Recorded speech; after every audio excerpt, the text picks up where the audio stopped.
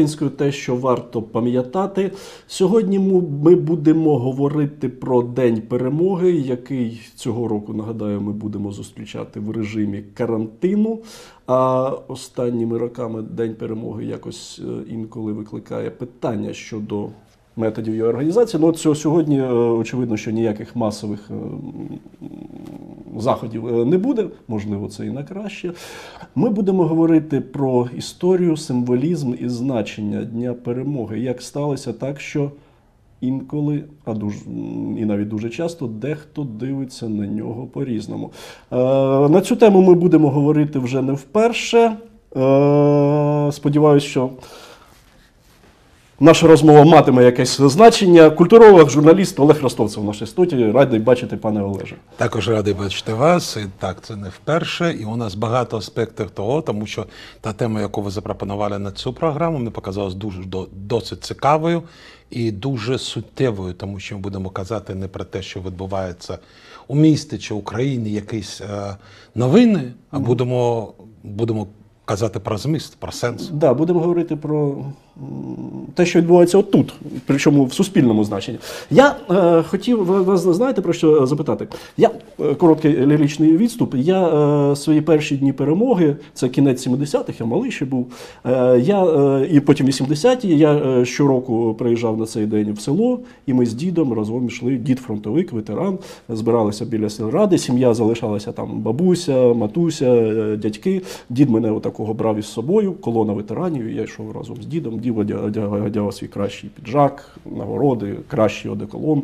От. е, І для мене вс- всі ці роки е, день перемоги був це от день. От дід, от він, от, от який у мене дід, дід герой, дід класний, дід е, супер. І поруч такі ж йшли. От діди з кожним роком їх потім ставалося менше, потім і діда не стало. А потім я зрозумів, що дні, день, днів перемоги, можливо, їх декілька. От я, я, зараз ділюсь вам, можливо, зі мною не погодитесь. От є день перемоги, з яким я ходив. Для мене День перемоги це е, шанування мого діда фронтовика. Є День перемоги як історична подія. От там майже з детективною історією про два підписання акта капітуляції і так далі. Є День перемоги як донесення якихось ідеологічних і в тому числі політичних сенсів. Ну, в тому числі, як ми бачили останніми роками, дехто виходить там з, партійними, з партійною символікою. Які ще є дні перемоги? Я всі перераховував? Чи можливо, от розумієте, і все це е, з одного боку, це все один є день перемоги як день пам'яті і примирення, який відзначається 8 числа. І розумієте, начебто день перемоги один, а скільки у нього облич? У него очень много а, лиц, у него очень много содержаний, особенно если и тут важно определиться, о каком уровне мы говорим. Потому что вот когда мы говорим, как замечательный соцопрос только что подоспел от КМИСа, как украинцы относятся к Дню Победы, это один слой. Мы можем поговорить про различия в личных памятях, в переломе в глазах у самого человека. Мы будем говорить, так сказать, на личностном измерении. Мы можем говорить о том, как к нему относится общество. И какие изменения происходят в обществе, какие нарративы существуют в обществе. И это общественная память у различных групп, у различных с- м, объединений, потому что тоже по-разному происходит. А, И мы, наконец, можем говорить про национальный или государственный уровень, который очень сильно отличается и который иногда почти не коррелируют, а иногда как-то коррелируют с первыми двумя.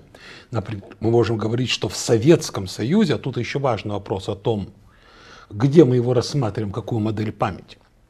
Э, В начале это был день памяти о войне. Так.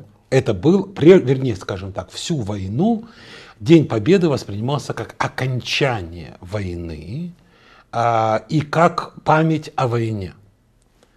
Затем, очень быстро, в 1946-1947 году, а, официальный нарратив сменился и постарался вытеснить память о войне, о которой вот вы сейчас говорите, память о деде, заменить его другой искусственно построенной конструкцией победы и нашего превосходства, советского превосходства. в качестве э, милитаристского праздника. Особливо для покоління, яке війни не пам'ятає. Это Моя было, матінка нет, народилась нет, вже это після было війни. в том числе вот прямо как только закончилась война, это 48-49 год. Потом долгое время День Победы был исключительно военным пам- пам- па- па- па- днем памяти. Его отмечало Министерство обороны. И его отмечали ветераны. Но общественным днем он не был ни выходным, ни праздничным, ничего. Один парад Победы 24 июня 45 года на площади. И потом победа как культ победы, а не Дня Победы. И это важно понимать. Так. Со- Со- Таллинский Советский Союз, я, кстати, очень бы рекомендовал бы всем довольно сложную, объемистую, трудную книгу для чтения э, Евгения Добренко «Поздний сталинизм. Эстетика политики». Очень интересная книга о том, какие нарративы в нас заложены послевоенным сталинским режимом. Не довоенным, не военным, а именно послевоенным, вот этим вот 46-53 годом. И вот тогда стал создаваться культ победы. Не даже как дня, а как явление. Появилась масса фильмов про 10 сталинских ударов, третий удар, битва за Севастополь, фантастическая а, битва за Берлин с какими-то абсолютно фан- фантазийными соцреалистическими прилетами Сталина прямо на площадь перед Рейхстагом и прочей абсолютной фантастикой совершеннейшей. После смерти Сталина эта система несколько изменилась. Она, потому что тогда надо было создавать советский национализм. Советский национализм. Згоден. Надо было создать противостояние Западу. Не классовое уже, а национальное. Это была сложная идеологическая система по изменению памяти, по изменению восприятия. И сюда идет и сессия Восханил, сюда идет и борьба за приоритеты, и борьба с космополитами, и то, что все научные открытия были совершены в России, а Запад только их украл. Все вот это вот вкладывалось в то, что создавался новый, то, что мы новая сейчас догма. Нова общність. Да. Е, при тому, що е, е, варто зауважити, що радянський комунізм він відкидав націю і націоналізм як таку, будували, начебто, спільноту людей поза національністю, але ж вони будували свій радянський націоналізм. Ну, тому, тому я Нет, нет, вот 46 -го года русско-советский национализм, русско-советский, был абсолютно... Ви не видели фильм Шевченка? Безумовно, бачу. 46 -го года? Бондарчук, с Бондарчуком. Это абсолютно русский фи- фильм. Да, Это о том, как да, Шевченко только и делает, что объясняется в любви к русскому народу. А Кулиш как раз І, просто... і революціонер, да, а Куліш, безумовно, на- е, буржуазний націоналіст. Хотя наоборот, Кулиш выступал за союз с Россией, а Шевченко был националистом. Но это не важно. Да. Как- Это формирует исторический нарратив. Мы не знаем социологических опросов в Советском Союзе. Мы не знаем, как к этому относились разные люди, которые там жили. Евреи, украинцы, казахи, грузины. У нас не было тогда КМИСов, не было фонда общественного мнения, левада-центров. Но э, мы прекрасно понимаем, что для того, чтобы формировался общенациональный нарратив, общественное мнение, в общем, да, особого значения не играло. Ну, ти, Так ти, ти, помнить ти не думаєш, за страна. тебе партія думає. Так, е- нет, это другая вещь.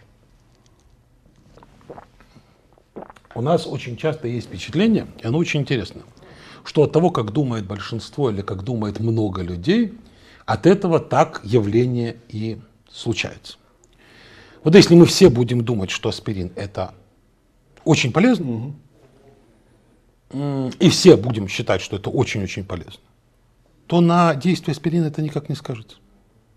Мир мало зависит от того, какие мы о нем имеем представления. Скорее, это показыватель нас, чем мира.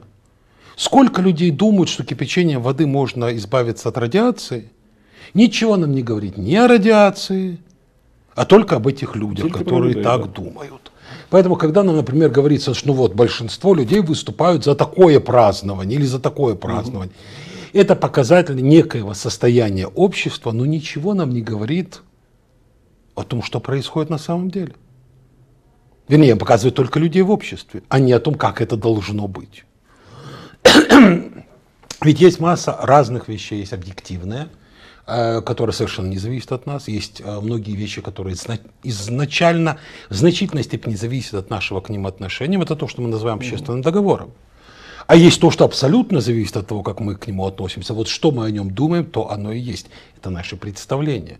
Но надо просто эти все уровни А, а як сталося так, от якщо повернутися до Дня перемоги, от в цьому контексті, що е, до якихось речей ми, ставимося, ну мені байдуже, вірите ви в аспірин, чи в анальгін, чи в валеріанку, чи ще щось. Але як тільки доходить до таки, от такої речі, як День перемоги, і якщо для тебе День перемоги якось трошки інакше, ніж для мене, о, тут і починається ось, ось те, що, що ми часто бачимо. Нормальная вещь. Вы никогда не замечали, что коммунизм это на самом деле абсолютно религиозная вещь. Да. С культами, с обрядами, с вопросами, которые имеют очень большое значение. Понимаете, Да, і з а, заклинаннями. как всегда, есть факты. Если мы расходимся с вами по фактам, то нам больше не о чем разговаривать. Вернее, нам можно говорить только об этом. Мы должны обсуждать эти факты. Второй момент, когда мы даже с вами согласились по фактам или одинаково на них смотрим, большое значение имеет то, как мы их называем. Потому что название иногда Безумно. несет на себе уже нагрузку. А когда мы с вами договоримся о терминах, как мы их называем, что это за факты, вот тогда мы переходим с вами на уровень интерпретации, что из этого следует, почему так получилось, откуда происходит, да? И вот у нас происходит, например, совершенно нормальный конфликт. Коротка Либо Ніколи знову, да. коротка ілюстрація е, ваших слів. Колись кілька років тому у мене була суперечка з однією людиною, яка е, на день перемоги дивилася інакше, ніж я. Я розповів йому про історію з дідом, про протові певні історії. І він каже: якщо я займаю проукраїнську позицію, ти предав свого діда. Я стримався. Тут на цих словах мені захотілося вже бити морду. Але я стримався і почав говорити: ну давай, чому так? Ось відбувалися такі речі. І він каже: Я цього не знаю про фактаж і знати не хочу. І я зрозумів, що далі сперечатись немає про що. Хоча бажання набити морду залишилось. Вопрос заключается в том, что вот для меня, например, можем говорить обо мне или можем говорить о вас. Для меня День Победы – это не мой День Победы. Я не воевал, Так. Я не участвовал в той войне. Я даже не был ее свидетелем. Я не часть того общества. Для меня День Победы очень важный день, как день моего уважения и любви к тем, кто там был. Это не наша победа, это их победа. Поэтому я выступаю на концертах для ветеранов и поздравляю их с праздником. Поэтому я вот сегодня закончил клип для ветеранов еврейской общины, э, большой фильм концерт с их поздравлением. Поэтому я ставлю их выступления и поддерживаю их, потому что это их День Победы.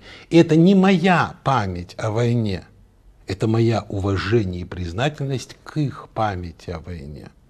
Для меня они и есть победа, не сам День Победы. Это не мы победили. Когда люди говорят, что мы победили, вы бы так к этой войне относились и хотели бы, чтобы здесь так победили. Вы бы тут ощущали свою войну, в которой вы являетесь свидетелями, которой вы являетесь людьми, которые между происходят, а вы все живете той войной. Но тут есть интересный вопрос, очень интересный вопрос. Вы поставили его, когда меня приглашали, вы сказали, что есть вариант Николы Знову Угу, да. и вариант Можем Можем повторить. воевали, можем повторить. И вот тут очень-очень интересный вопрос, потому что это две разные модели памяти. Абсолютно разные модели памяти. И проблема сейчас, я вижу, Украины, не украинцев, ни вас, ни меня, никого Украины, в том, что она, отказываясь от советской модели памяти, от русской модели памяти, пока не предложила внятную модель своей памяти, а где здесь Украина. Что у нас есть? У нас є ніколи знову. І у нас є... Николы Знова это чья память? Пам- е, е, ну, ніколи знову, мені здається, це загальноєвропейський е, такий А що воно е, значить? слоган. Що ми усвідомили досвід, який пережили тоді, Що ми? і не хочемо його повторити. Ні. Тобто, оте можемо повторити, це є протилежністю Николы Знову это еще вот что есть. Это означает чаще всего то, что мы ощущаем свою ответственность за то, что это случилось.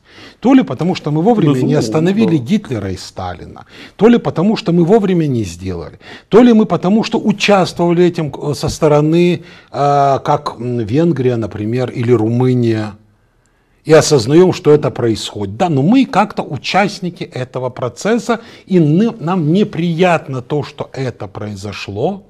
Ничего хорошего мы в этом не видим. Это нам пришлось сделать. Мы не с удовольствием это делали, а делали то ли неправильно, как некоторые страны, не с той стороны, то ли вынужденно, но никакой радости. Мы сделали тяжелую работу, которую надо было сделать. Радости от этого Радості не усвідомлює, я так думаю, ніхто. нет. Второй вариант, можем повторить. Это абсолютно вариант, кто может повторить. Это вариант Великой Отечественной войны, это ее модель памяти. Великая Отечественная война чья была? Совєтського народу. Безусловно, полное название Великая Отечественная война советского народа 41-45 года. Кстати, интересно, в скобках замечу, что э, Великая Отечественная война в этой историографии не включала войну с Японией. Она не была ни великой, ни отечественной, вообще никакой. Она входила в, в канон Второй мировой войны, но была совершенно отдельно. Вот был период 39 э, 40, 22 июня 41 года, когда Советский Союз непонятно был на чьей, собственно говоря, стороне, и старались об этом, в общем, в Европе бушевала Вторая мировая война. А потом, ровно в 4 часа, Киев бомбили. И после 9 мая тоже там что-то происходило, и на Тихом океане свой закончили поход. Но это тоже не Великая Отечественная война. Никоим образом никогда не входила в канон. И вот, когда мы говорим о себе как о советском народе, то нам надо ответить, являемся ли мы советским народом сейчас. Потому что это его Великая Отечественная война. Даже если мы верим в этот канон, неважно, правильный он или неправильный. Но мы не можем э, говорить о себе, что да, мы вместе с нашим, не знаю, там, аргентинско-парагвайской войне, мы аргентинский народ, но мы не аргентинский народ. Мы себя к нему не относим. И вот тут возникает вопрос. А где в этой вообще истории Украина? Не украинцы. С украинцами все понятно. Украинцы воевали в Красной армии, РКК и потом в Советской армии. Украинцы воевали в Польской армии. И, кстати, украинские евреи воевали в Польской армии. И очень много евреев расстреляно в Катыни и под Харьковом в составе польского офицерства. И украинцы воевали в польской армии. И украинцы воевали в армии, в армии генерала Андерса. Не До знаю, речі, были ли, что? Да. Были ли они в армии Краевой? Добре, що нагадали.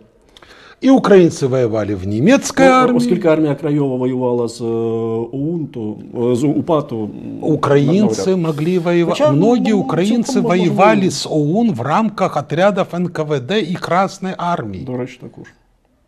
Когда мы говорим про украинцев, то мы имеем в виду, что есть отдельные люди, у них могут быть разные убеждения, но украинцы воевали во многих армиях Безумовно. мира, если мы рассматриваем этническую украинскую нацию. А от якщо А говорити- вот держава. А от коли ви запитали, е, де була Україна, як Да. ц- дещо е, щось цілісне, да? я згадую слова Путіна, що е, ми б перемогли і без України.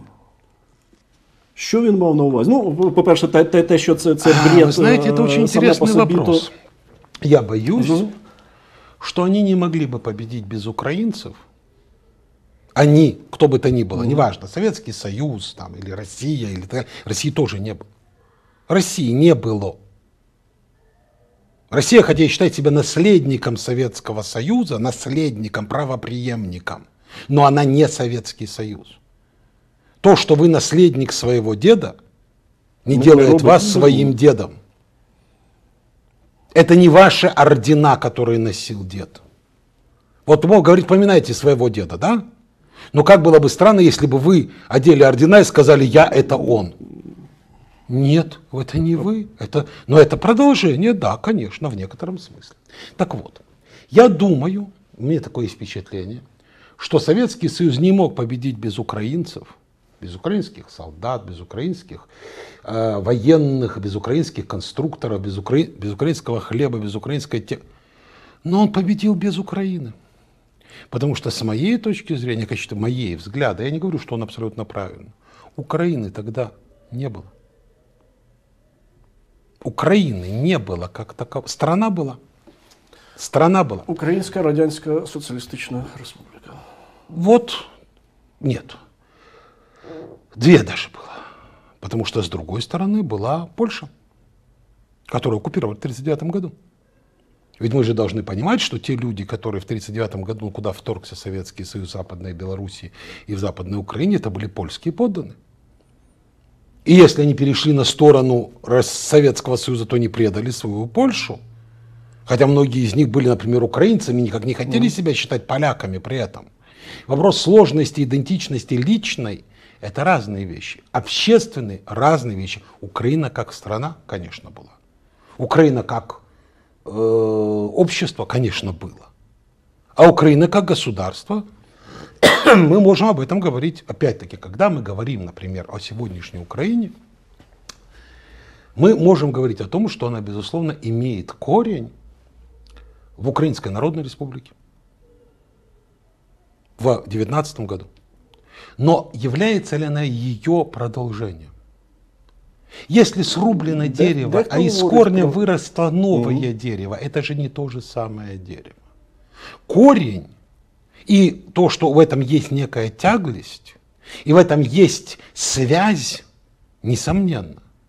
Но можем ли мы считать, что это была э, кома или литургия, и потом возникла опять ОНР? Мне кажется, что Ну, нет, но это вопрос, который можно обсуждать. Ну, де- дехто пропонує, е, що е, е, назвати, е, м, говорити не про е, набуття незалежності в 91-му році, а про відновлення. Відновлення. Нет, відновлення можно говорить. Почему нет? Когда провозглашали, например, а, акт независимости государства Израиль в 1948 году, Давид Бен-Гурион, он говорил о восстановлении еврейской государственности через две тысячи лет. Но это же было не иудейское царство, это восстановление, да, конечно, я с этим согласен. И надо говорить про восстановление украинской государственности, но это не та же самая украинская государственность. Ведь мы, это важно, наверное, понимать, что когда мы говорим одна страна или один даже народ, государства-то могут быть разные. Ну вот, например, в 19 веке было много немецких княжеств. Виттенбургская, Бранденбургская, Гольштинская, Ган... куча их там было. И это был один народ, правильно? Один народ, Немцы. Германия, она была Священная Римская империя, германская нация, бог знает с какого года, Сатона первого. Потом появилась империя, Пруссия создала германскую империю, и на этом, кстати, закончила свою идентичность. Пруссии как раз больше нету. Пру- Пруссия растворилась в империи. И вот у нас есть германская империя, кайзеровская, с Бисмарка, потом без Бисмарка, кайзер есть, 18 год, Бисмарка и кайзера нету, появляется Веймарская республика, это, это Германия, Все це, все це Німеччина, но это другое государство, безумовно. просто другое государство. Это же не, э, это продолжение империи, продолжение немецких княжеств, история непрерывна, но государство другое. Потом происходит Третий рейх, и это опять что-то другое. Потом Третий рейх исчезает, он уничтожен. Появляется Федеративная республика Германия, Германская демократическая республика. И вот у нас у немецкого народа минимум три государства. Не забывайте, что у нас еще есть Австрия. И соответствующим образом государства разные, а страна одна. Ничего в этом такого непредставимого нет. Мы видим, как возникают идентичности на наших почти глазах. И не связаны с какой-либо отдельной нацией или народом. Вы знаете канадцев? Декого знаю. Да кого знаете? И кто они этнически? Ну, я, я знаю українських канадців. А там нет канадцев. Там есть из Англии, из Франции, из Украины, еще откуда-то. Человек, который говорит, Кана... нет такой национальности, Национальность. канадец. А может уже и есть.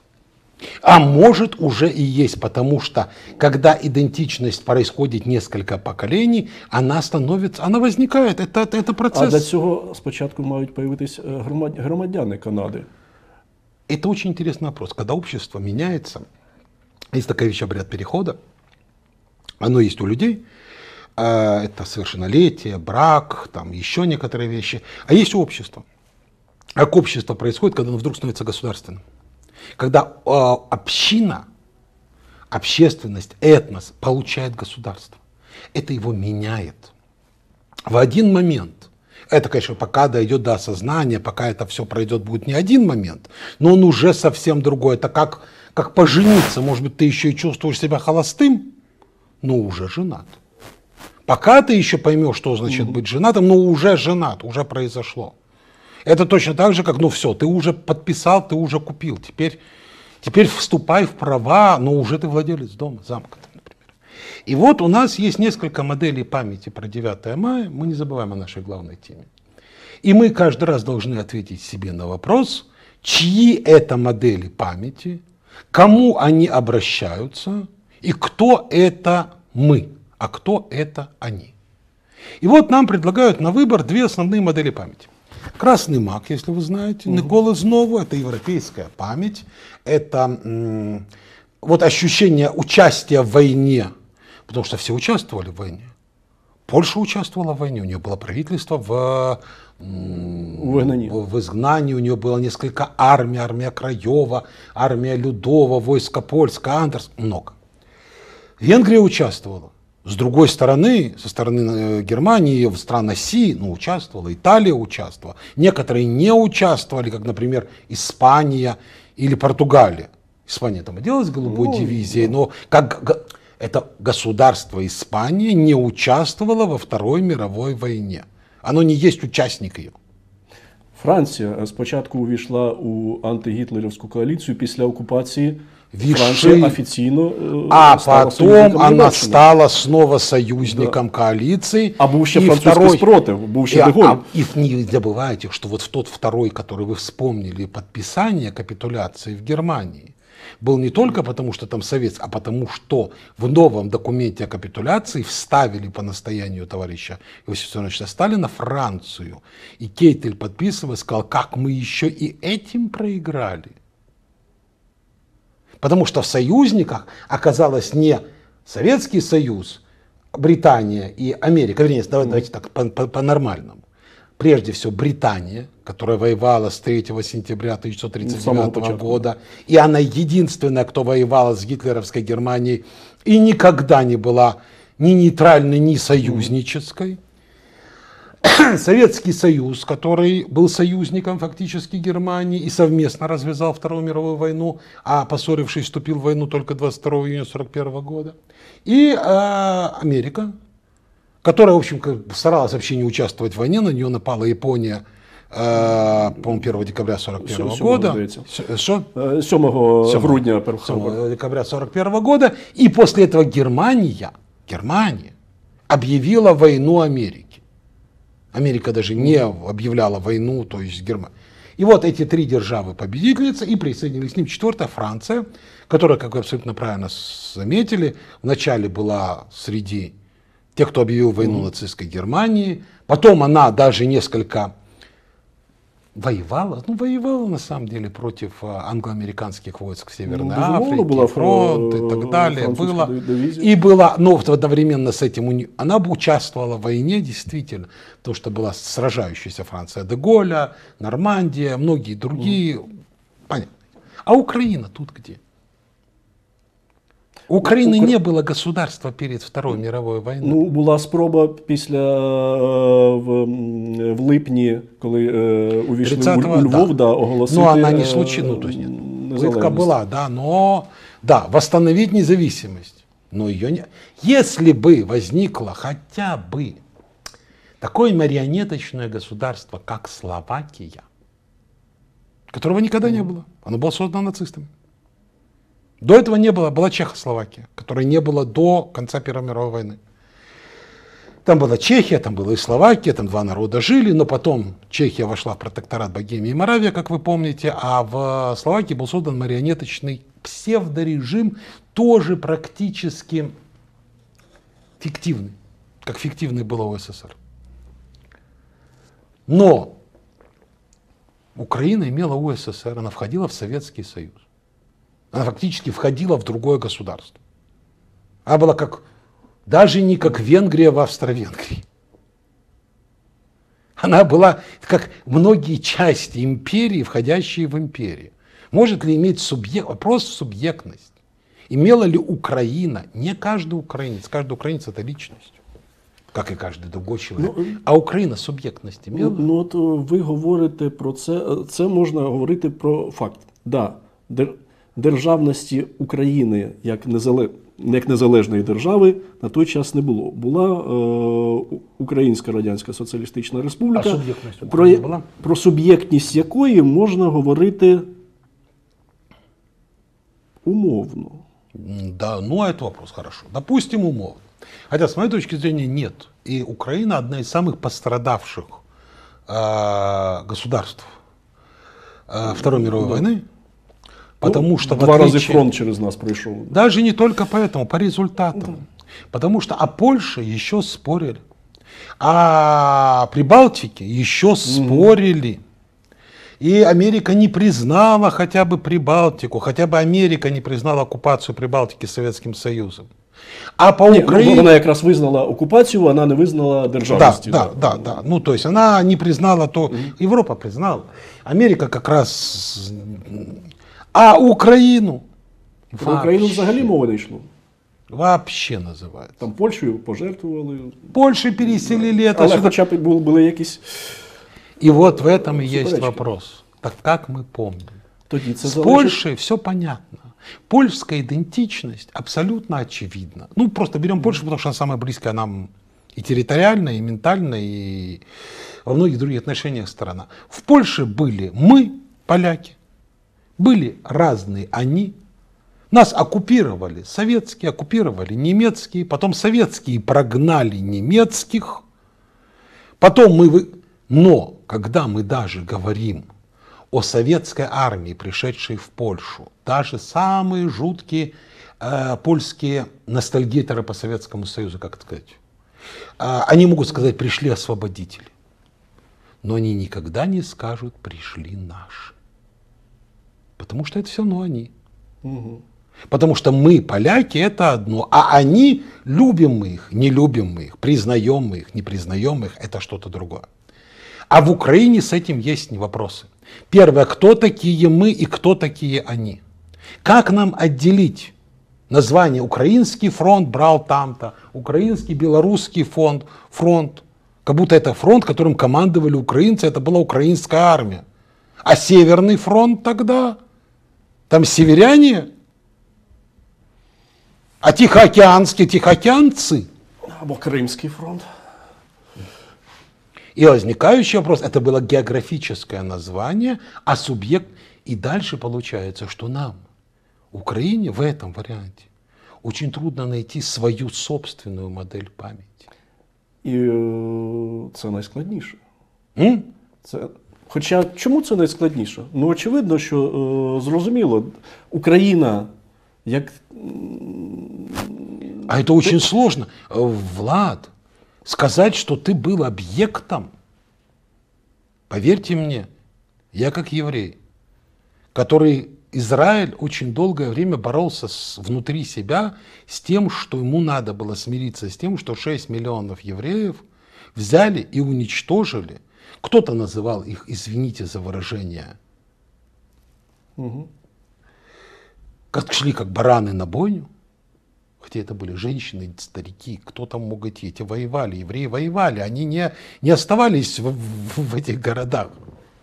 Но тем не менее, назвать себя жертвой довольно сложно. Это кажется, что жертвы все не- любят. Е, Головне, що не хочеться, тому що хочеться бути переможцем, а отже ж він И був вот переможцем. мы, украинцы, часть переможн... Вот то, что сейчас нам предлагает, например, Украинский институт национальной памяти, а, то, что нам предлагают другие вещи, они пытаются нам предложить новый украинский нарратив того, что мы участвовали во Второй мировой войне, мы были частью Второй мировой войны, мы воевали во Второй мировой войне. Кто-то с одной стороны, кто-то с другой стороны, но это были мы. Вибачте, українець Олексій Берест піднімав е, знамено перемоги на, е, над Рейхстагом, а українець Майкл Стренк е, був на тій Іводзімі і увійшов в ту знамениту композицію підняття прапора над Іводзімою. Замечательно. Какого прапора? Американську, А над Рейхстагом? радянський. Он был украинец. Это замечательно, что он был украинец, только он не украинский прапор поднимал. Э, Влад, это Да, очень важная да, вещь. да, да. Это очень вла- важная вещь. Украинцы и украинское, мы – это разные вещи, это разные сущности. Не все украинцы тождественны украинскому. Это очень опасная вещь, когда мы начинаем отождествлять украинское, украинскую сущность с украинцами. Точно так же опасно, просто так мы позитивное делаем, когда мы говорим, что раз это еврей, то еврейство и натягиваем на него отношение ко всем евреям. Троцкий – это не еврейская позиция, это не еврейская мысль. ну, а Равин, Ва- э, Равин там, например, Янкель, хотя он мало знаменитый, но он говорит от еврейского имени в еврейской традиции, еврейскую, а этот коммунист. Поэтому, когда мы, например, ут- уточним, что господин Берест, пан Берест, когда подымал прапор над Рейхстагом, на самом деле шептал «Слава Украине»,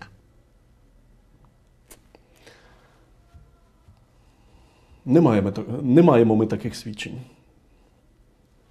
Більше того, е, Скоріше навіть всього, Олексія ні. Береста не часто згадують і майже не згадують, тому що в радянській традиції сержанти Єгоров і Кантарія. Да, потому что это была постановка, потому что это делали нарратив. Опять-таки, неважно, было решали, кто лучше, чтобы там поднял. Казах нет, казах нельзя. Надо, чтобы был грузи, надо, чтобы был рус. Точно так же, как подвиг Матросова, который не, мат- неважно, Гастелла тоже не Гаст. Эти 28 панфиловцев, это на самом деле очень важные вещи для показателя что нам хотели рассказать, не что было на самом деле. Это нормативная память.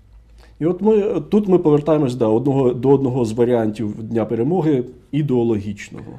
Нет, у нас Я есть к ней- несколько вариантов. У нас есть несколько вариантов. Мы можем с вами спорить, как украинцы относятся к Дню Победы.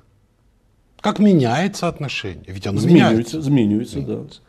Мы можем, с вами, мы можем с вами говорить, как украинцам хорошо было бы, или правильно было бы, или стоило бы относиться к Дню Победы. Тоже можем говорить, как это наиболее по-украински будет. Если мы с вами приходим к выводу, Ми, ми, таким что- чином не, не будемо нав'язувати суспільству якісь Подождите, мы можем с вами сказать, ну, свои мы можем совершенно спокойно сказать, что мы с вами считаем, что в Украине должен быть украинский взгляд на День Победы. Так. И мы смотрим на каждый взгляд и смотрим, он более украинский, менее украинский, все, что в укр- сторону украинский, это хорошо, все, что в сторону подальше от украинского, это плохо. Или неплохо, но мы, с- у нас есть цель. Але це не, не, є, не є українським. Не є якщо, українським. якщо воно не- не сприймає чогось. Более українського. украинское, менее Да, украинское. да, да. Потому что Так можна проаналізувати. згоден. Потому что мы можем с вами говорить, опять-таки, э, у нас есть такая вещь, как правопис, так? Он указывает нам правила українського язика. Ми його змінюємо, коли розмовляємо. Да, Ну, дуже звичайно, змінюємо. Він не є, е, він не є нам нав'я... Ми його мі- ч- частотно змінюємо. Ну, он нас змінює, і он нас змінює. Вводит то ли в новую букву, а то новое слово. И мы можем говорить, а как правильно писать, как более по-украински, когда у нас есть тезаурус, набор слов. Более украинское, более польское, более российское, более американское. И мы, как бы говорим, мы хотели бы из них выбирать наиболее украинское, притаманное украинской мове. Не всегда получается, иногда берется английское, иногда российское, иногда польское, но, но в принципе, чем более український наш український язик, я вибачаю за те, що я розмовляю російською мовою, але ж на складні те- теми мене складно розмовляти ще м, да. А на карантині це неможливо. Це-. Нехай Ну. що- цього. И вот мы вот тут у нас возникает, и это мы говорим про общество. Но мы с вами можем еще говорить про государственный, официальный нарратив, который должен быть обдуманным, логичным. И здесь не проходит, потому что нынешний государственный нарратив – это какая разница? Это нам плевать, под каким памятником кого и обнимать. Ну, вибачте, тут я. Е, Дуже цікава тема. Е, Какая різниця прозвучала під час новорічного звернення президента? Да? А от е, буде 9, е, 9 травня, чи можливо 8. Тут ще цікаво, коли у нас буде звернення президента, якщо воно буде 8 чи 9 травня. А якщо буде і 8 і 9? А можливо і так. От. І от е, що, які наративи прозвучать там? И это, ну, вопрос Какая разница? Там не не будет точно. Нет, там не будет. Но я вам могу сказать, что это не только вопрос президента. Это вопрос всей властного Да, я- я- я- осознания. вот я, э, я это не только. Украинского института национальной памяти, не только президента, не только министра культуры, если будет министр культуры.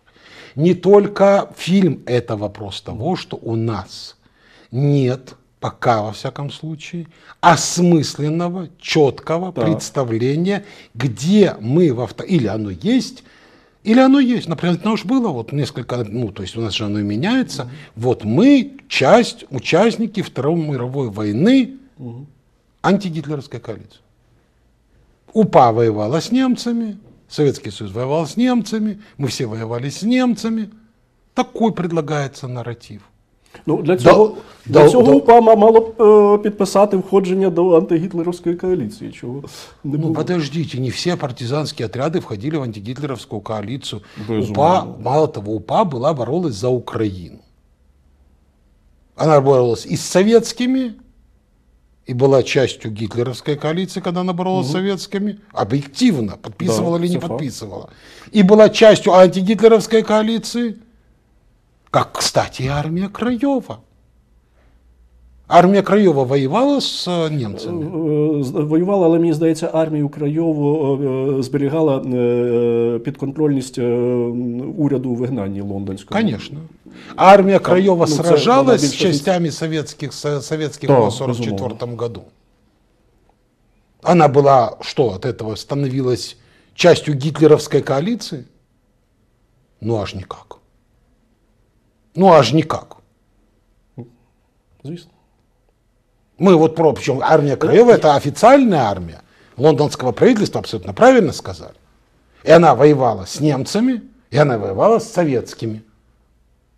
Ну, Тому по- по- потім е, уряд у Лондоні був е, знову ж таки визнаний е, радянською ідеологією, як там якийсь буржуазний і несправжній, і все це несерйозно. Взорвали, взорвали самолет, да, там много чего было, да, и привезли своих. Это понятно. И поделили Польшу, в смысле отдали Польшу в Ялте, и продали ее. Тут В Ялте было, все говорят про Мюнхенский сговор, а про Ялтинский или Потсдамский сговор как-то не особенно говорится. Хотя то, что было там, то же самое было раздел мира. Если вы то называете сговором, называете и это сговором. Мы говорили об этом, о том, как назвать. Это имеет значение. Но мы говорим сейчас о официальном нарративе. И вот у нас есть это важное понимание, кто мы. А, І ви, у вибачте, нас про, про є- офіційний на- на- наратив. е, од- од- Одне питання. А у чому він е, має бути е, втілений? І чи бачимо ми, чи- а можливо, колись бачили це втілення, якщо ми говоримо про державну політику щодо е, Дня перемоги і взагалі е, Другої світової війни, у чому це має проявлятися? Ну лише ж звернення президента і там поздоровити е, раз на Конечно, рік. потому что с моей точки Да, пять зрения, хвилин у нас. например, например, 8-9 мая должны быть неразрывны и частью единого комплекса с 18 мая. А що у нас 18-го, вибачте? 18 травня. 18 травня 1944 года був геноцид кримських татар. Ага. І це воєнна Початок депортації, історія. так. Наша, наша українська, наша украинская история, потому что крымские татары такие же украинцы, как я, еврей, как вы, польского походжения. Мы все украинцы, это наша спильная страна. И когда мы пытаемся забыть о том, что кроме Холокоста, и Холокост это тоже часть этой же истории, нашей украинской истории убивали наших, не их. Ми можемо Когда говорити про ми- Корюківську трагедію, яку в нас майже не згадують чомусь. Мы можем совершенно спокойно сказать, мы, украинцы, помним Вторую световую, мировую, Другую световую войну, которую развязал Советский Союз и гитлеровская Германия, в которой нам, у нас были огромное, где мы пытались создать свое государство, и у нас не получилось І нас ніхто не підтримує. где мы пытались создать национальное хотя бы сообщество, и у нас не получилось. И наша Вторая мировая война закончилась в 50 каком году? А це Последний коли бой? останній бій. е, Да. Ну, ну там різні, да, ну, умовно 53-й нехай буде. Найчастіше про нього кажуть. Вот, ну то есть это часть нашей Второй световой, украинской Второй световой. Потому что, например, обратите внимание, что Финляндия свою войну с Советским Союзом упорно вырезает, выщелкивает и отрицает связь со Второй мировой войной. Это отдельная война, она просто происходила в то же самое время. Це яку 39-40 чи И потом и, 44-го? вто- и вторую, и третью, там их было, три или четыре.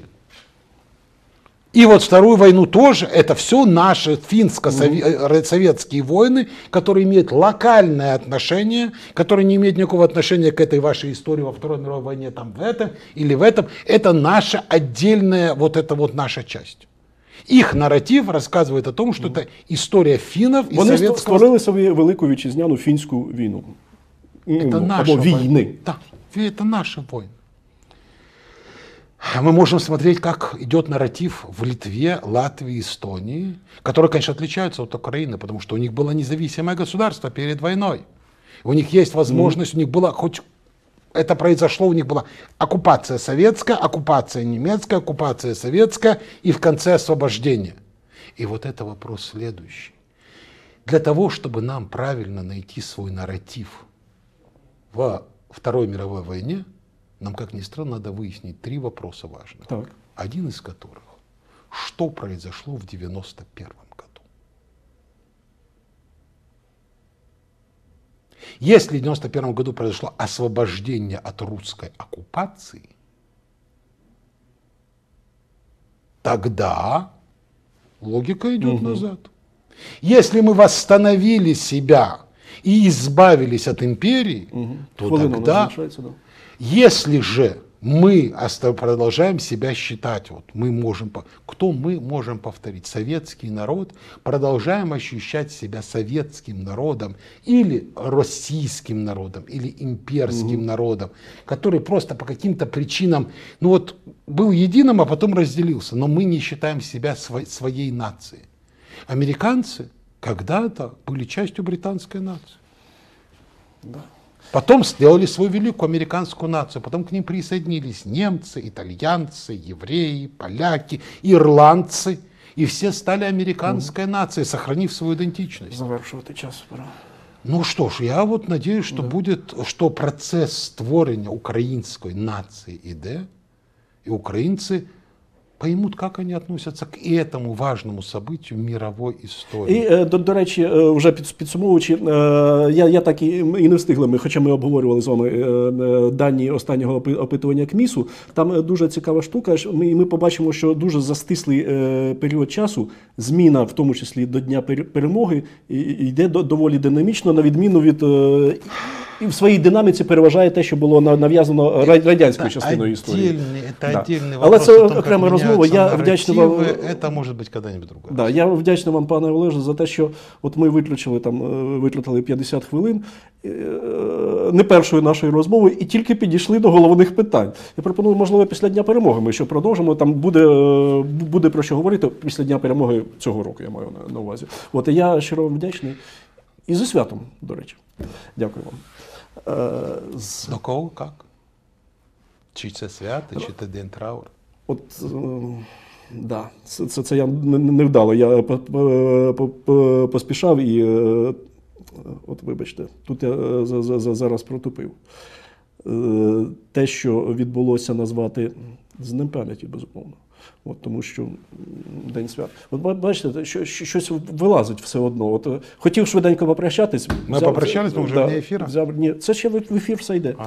От, але про, от про такі речі теж потрібно говорити, навіть під час ефіру, навіть за, за, за- затягуючи вже, нехай вибачать мене режисери, режисери час. Тому Тому, що, це показова дуже обмовка. Ну була. це дуже важливо. Да. Так. А, а, а- але час все одно завершувати.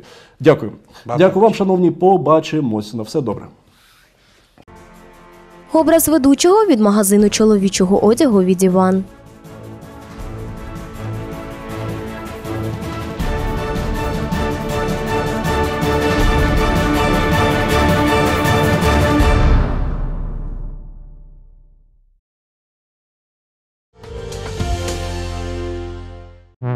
Стиль, якість, вражаючий асортимент.